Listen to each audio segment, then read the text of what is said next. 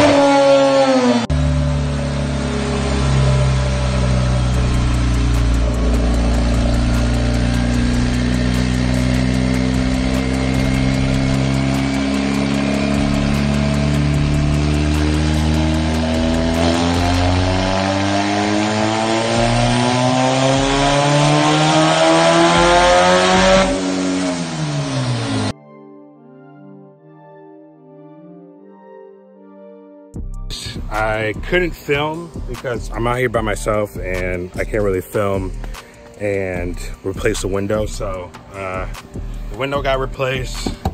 It was like a little bit more difficult than I thought, but still it was easy. Um, what I had to do is unbolt here, here, here, and here, and the whole like window regulator drops out. You just pull it out through here, and then bolt the new one up in the original spot and then um, I slid the window in here, dropped it all the way down. And then there's two screws on this regulator. I'll show you one of them because the other one's in a difficult spot.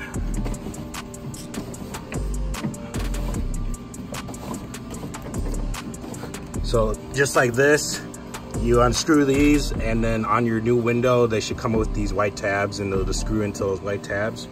And the other one, I literally I did, I tried to do that one first and then do this one, but that didn't work. So you have to take this off and then do this one first because it's the hardest one and literally get it right in between here. So you get it, screw that one in and then screw the easy one in, which is hard when you screw one one side in, the other side is gonna be harder. So it was easier in the more room in, so I did that. And then, yeah, new window, who this? So I just cleaned up all the glass that was broken back, or not all of it. Look, there's still stuff back there. I might vacuum again.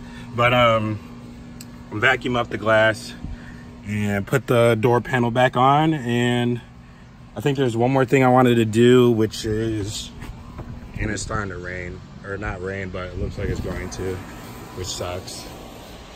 And I'm also freaking going to New Mexico on Monday because I gotta go to New Mexico for work. So I'm gonna be gone, but I wanna put this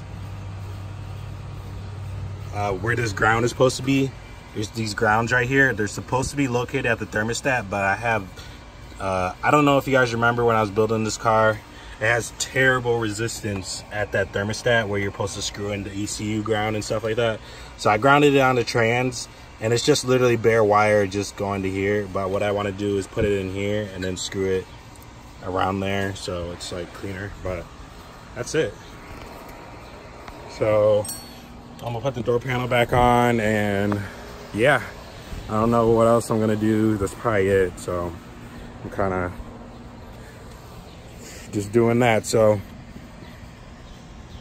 yeah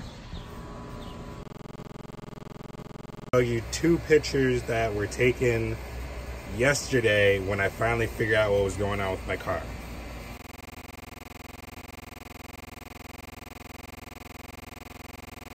Those were the two pictures.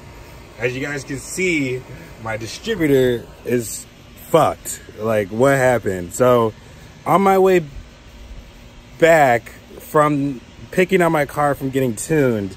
Uh, I was doing another pull, just one last pull before I put it away down the street right here.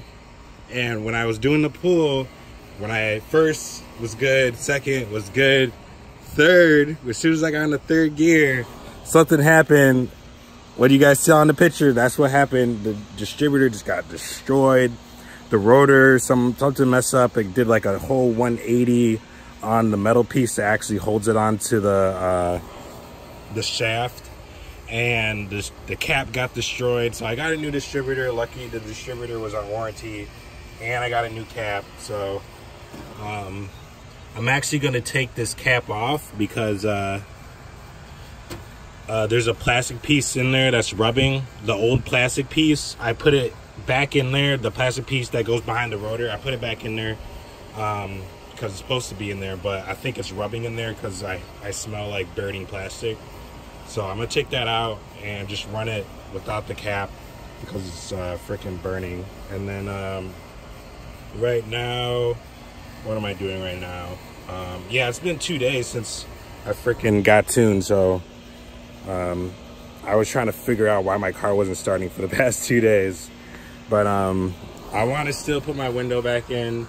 I kind of figured out what was uh, what I needed to do, and I also got the box with the actual window, uh, manual window um, thing. I don't even know what you call it. Whatever, I got a replacement one that you put back here and it rolls out the window. So I got the window and that so I could fix that today. And what am I doing right now? Really nothing.